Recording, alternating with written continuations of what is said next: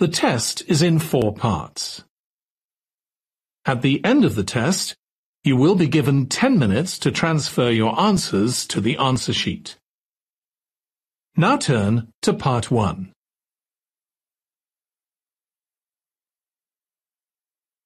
Part 1.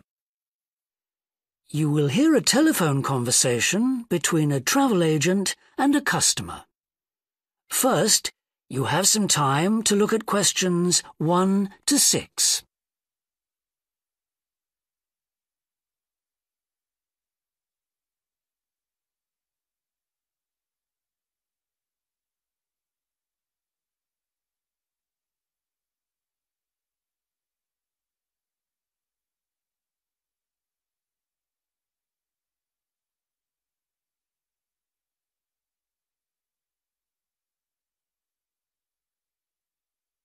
Listen carefully and answer questions 1 to 6. Good morning, World Tours. My name is Jamie. How can I help you? Good morning. I want some information on self-drive tours in the USA. Could you send me a brochure? Of course. Could I have your name, please? Andrea Brown, Thank you. And your address? 24 Ardleigh Road. Can you spell that? A-R-D-L-E-I-G-H Road. Postcode? BH5 2OP. Thanks. And can I have your phone number? Is a mobile all right? Fine. It's 07786 643 091. Thank you. And can I ask you where you heard about World Tours? From a friend, or did you see an advert somewhere? No, I read about you in the news. See an advert somewhere? No, I read about you in the newspaper. Okay, I'll get the brochures in the post to you, but can I give you some information over the phone? Uh, what kinds of things do you want to do on your holiday? I'm interested in going to California with my family. I've got two children, and we want to hire a car. Okay, we have a couple of self-drive tours there visiting different places of interest in California. The first one begins in Los Angeles, and there's plenty of time to visit some of the theme parks there. Ah, that's something on my children's list, so I'd want to include that. Good. Uh, then you drive to San Francisco. From San Francisco, you can drive to Yosemite Park, where you spend a couple of nights. You can choose to stay in a lodge or on the campsite. I don't like the idea of staying in a tent. It'd be too hot. Right. And the tour ends in Las Vegas. Okay. The other trip we can arrange is slightly different. Slightly different. It starts in San Francisco, then you drive south to Cambria. Someone told me there's a really nice castle near Cambria. Will we go near that? Hearst Castle is on that road, so you could stop there. Good. I'd like to do that. Does this trip also go into the desert? No, it continues to Santa Monica, where most people like to stop and do some shopping. We have enough of that at home, so that doesn't interest us. Okay. Well, you could go straight on to San Diego. That's good for beaches, isn't it? That's right. That's a good place to relax, and your children might like to visit the zoo before flying home. Uh, I don't think so. We want some time for sunbathing and swimming.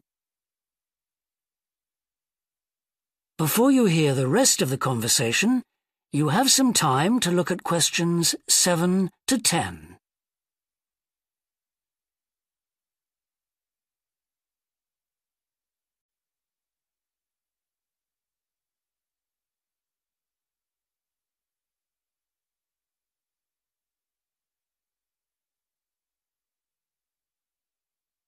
Now listen and answer questions 7 to 10. So, how many days are the trips and how much do they cost? The first one I told you about is a self-drive tour through California, which lasts 12 days and covers 2,020 kilometers. The shortest journey is 206 kilometers, and the longest is 632 kilometers. The cost is £525 per person. That includes accommodation, car rental, and a flight, but no meals. OK. And the other trip? That lasts nine days, but you spend only three days on the road. You cover about 980 kilometres altogether. So is that cheaper then?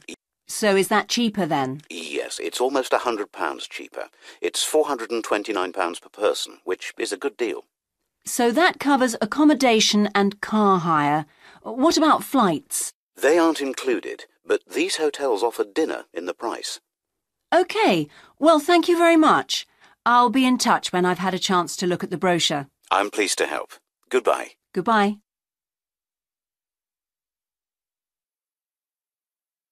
That is the end of part one. You now have one minute to check your answers to part one.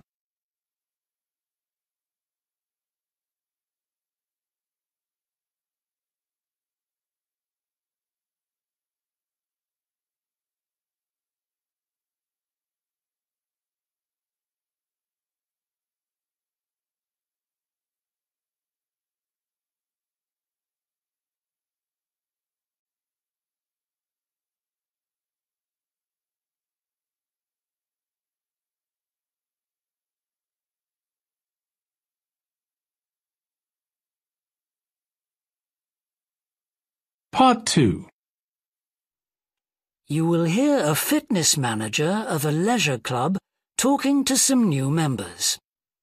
First, you have some time to look at questions 11 and 12.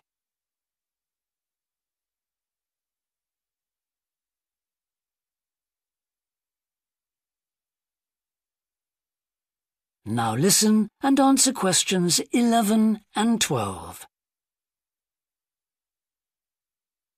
On behalf of LP Clubs, I'd like to welcome you all here today. My name's Sandy Fisher, and I'm one of the fitness managers here. Before we start our tour of the club, I'll just explain the types of membership available. Our greatest asset is probably our swimming pool, which at 25 metres isn't Olympic sized, but now we've expanded it to eight lanes, it's much wider. This means there are rarely more than a couple of people at a time in each lane. Unfortunately, there isn't space for an outdoor pool here, but the glass roof on the swimming pool is partly retractable, which means you can enjoy something of the open air experience on warmer days. Our recently refurbished fitness suite has all the latest exercise equipment, including 10 new running machines and a wide range of weight training machines.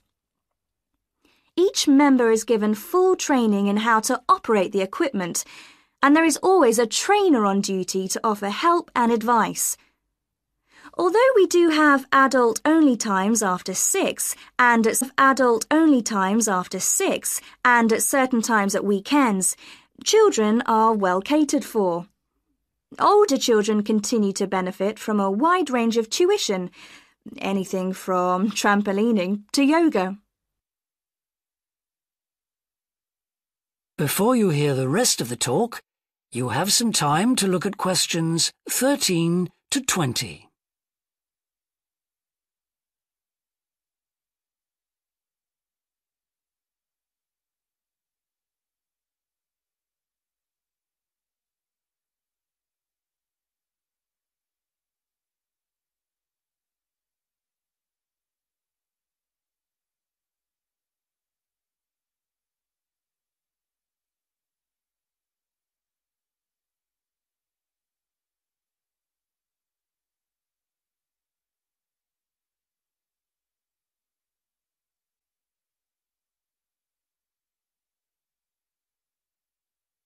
Now listen and answer questions 13 to 20.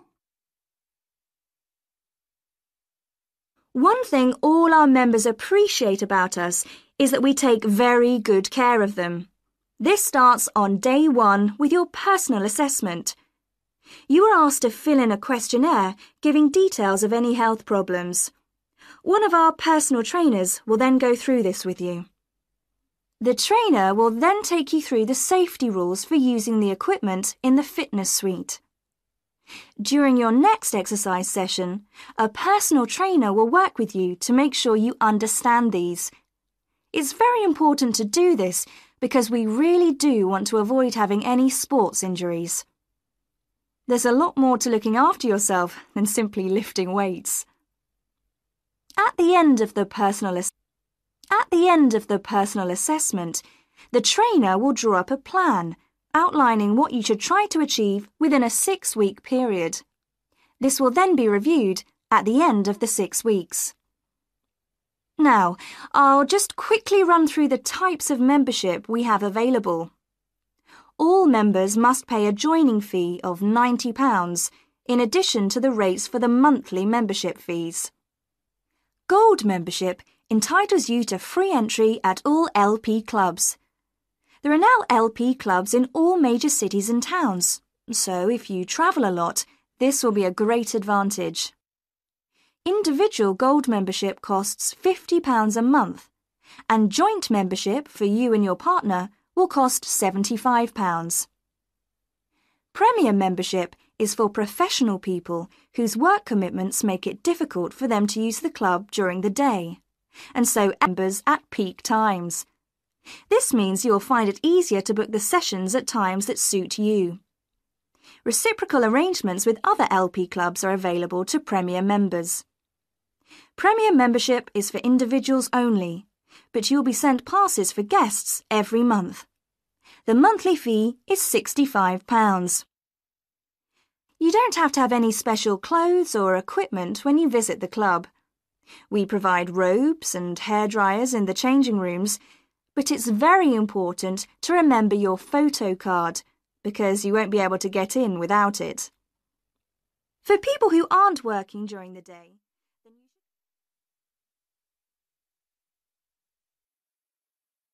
That is the end of part two. You now have 30 seconds to check your answers to part two.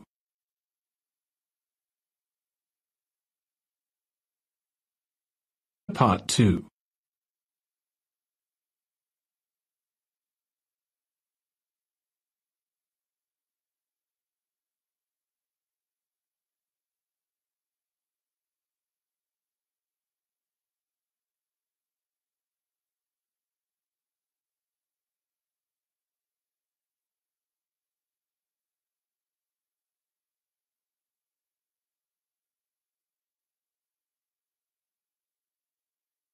Part 3. You will hear a student called John talking to a professor about a design competition he is entering. First, you have some time to look at questions 21 to 25.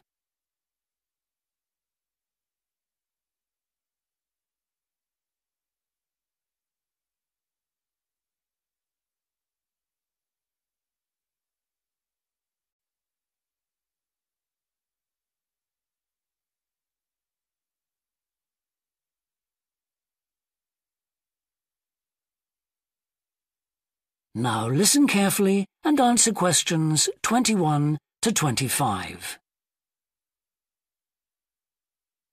Um, hello, Professor. I'm John Wishart. I'm working on my entry for the Global Design Competition. My tutor said you might be able to help me with it. Ah, yes, I got a copy of your drawings. Uh, come in and tell me about it. What sort of competition is it? Well, it's an international design competition, and we have to come up with a new design for a typical domestic kitchen appliance. I see. And are there any special conditions? Does it have to save energy, for example? Actually, that was the focus in last year's competition. This year's different. We have to adopt an innovative approach to existing technology, using it in a way that hasn't been thought of before. I see. That sounds tricky. And what kitchen appliance have you chosen? Well, I decided to choose the dishwasher. Interesting. What made you choose that? Well, they're an everyday kitchen appliance in most Australian houses, but they're all pretty boring and almost identical to each other. I think some people will be prepared to pay a little extra for something that looks different. It's a nice idea. I see you've called your design the rock pool. Mm. Why is that? Basically, because it looks like the rock pools you find on a beach. The top is made of glass so that you can look down into it. And there's a stone at the bottom. Is that just for decoration? Actually, it does have a function.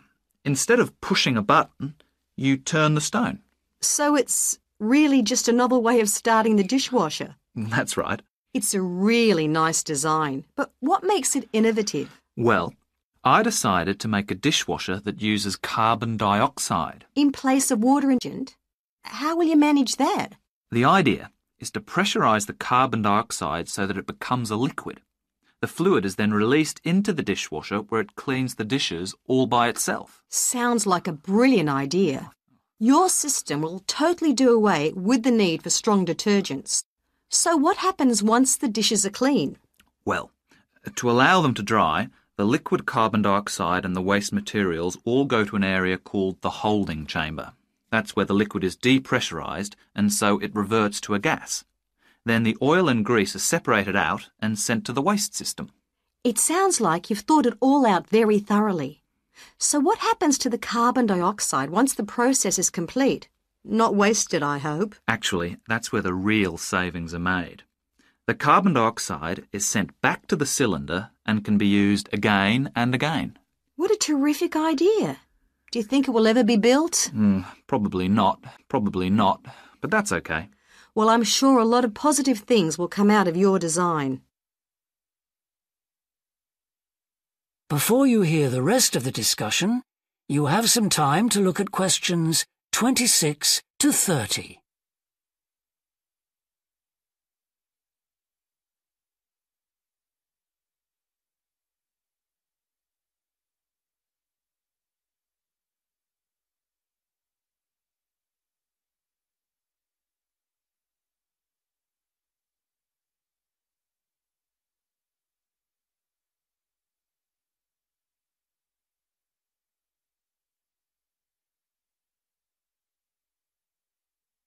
Now listen and answer questions 26 to 30.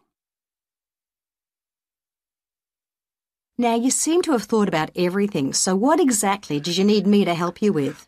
Well, my design has made it to the final stage of the competition, and in a few months' time, I have to give a presentation, and that's the part I was hoping you could help me with. Right, well, that should be easy enough.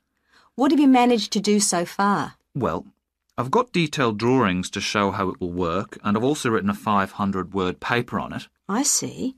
Well, if you want to stand a good chance of winning, you really need a model of the machine. Yes, I thought I might, but I'm having a few problems. What's the main difficulty so far? Ah, let me guess. Is it the materials? Yes. I want it to look professional, but everything that's top quality is also very expensive. Look, projects like this are very important to us. They really help lift our profile. So why don't you talk to the university about a grant? Oh, I can help you fill out the application forms if you like. Oh, that would be great. You'd better show me this paper you've written as well. For a global competition such as this, you need to make sure the technical data you've given are accurate and thorough. Oh, that would be a great help. Is there anything else I can do? Well, I'm really nervous. That is the end of part three. You now have 30 seconds to check your answers to part three.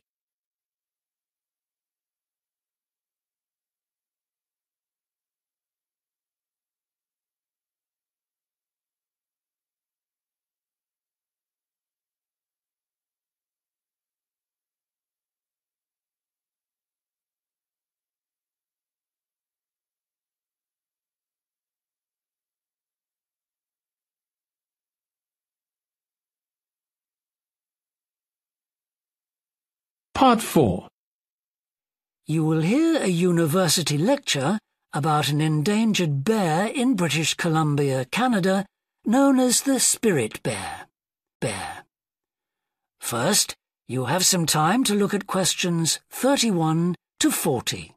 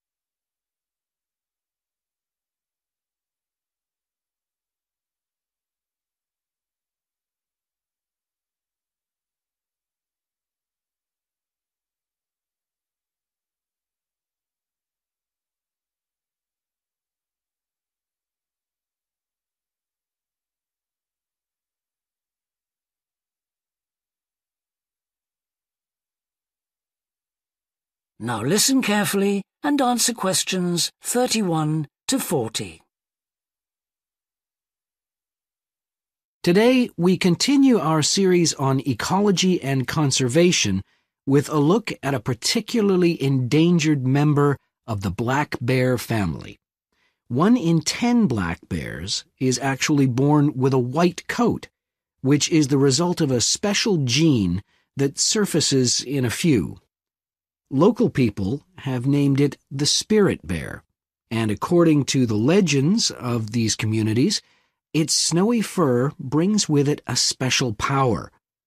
Because of this, it has always been highly regarded by them, so much that they do not speak of do not speak of seeing it to anyone else.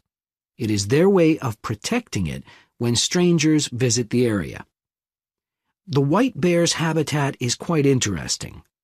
The bear's strong relationship with the old growth rainforest is a complex one. The white bear relies on the huge centuries old trees in the forest in many ways. For example, the old growth trees have extremely long roots that help prevent erosion of the soil along the banks of the many fish streams. Keeping these banks intact is important because these streams are home to salmon, which are the bear's main food source. In return, the bear's feeding habits nurture the forest. As the bears eat the salmon, they discard the skin and bones in great amounts on the forest floor, which provide vital lush vegetation that sustains thousands of other types of life forms, from birds to insects and more. Today, the spirit bear lives off the coast of the province of British Columbia on a few islands. There is great concern for their survival, since it is estimated that less than 200 of these white bears remain. The best way to protect them is to make every effort to preserve the delicate balance of their forest environment. In other words, their ecosystem.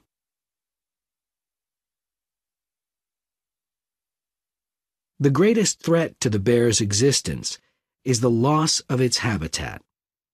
Over many years, logging companies have stripped the land by cutting down a large number of trees. In addition, they have built they have built roads which have fractured the areas where the bear usually feeds, and many hibernation sites have also been lost. The logging of the trees along the streams has damaged the places where the bears fish. To make matters worse, the number of salmon in those streams is declining because there is no legal limit on fishing at the moment. All these influences have a negative impact on the spirit bear's very existence, which is made all the more fragile by the fact that reproduction among these bears has always been disappointingly low. And so, what's the situation going forward? Community organizations, environmental groups, and the British Columbia government are now working together on the problem. The government is now requiring logging companies, requiring logging companies to adopt a better logging method, which is a positive step. However, these measures alone may not be sufficient to ensure a healthy population of the spirit bear in the future. Other steps also need to be taken. While it is important to maintain the spirit bear's habitat, there also needs to be more emphasis on its expansion. The move is justified as it will also create space for other bears that are losing their homes to damage. That is the end of section four. You now have half a minute to check your answers.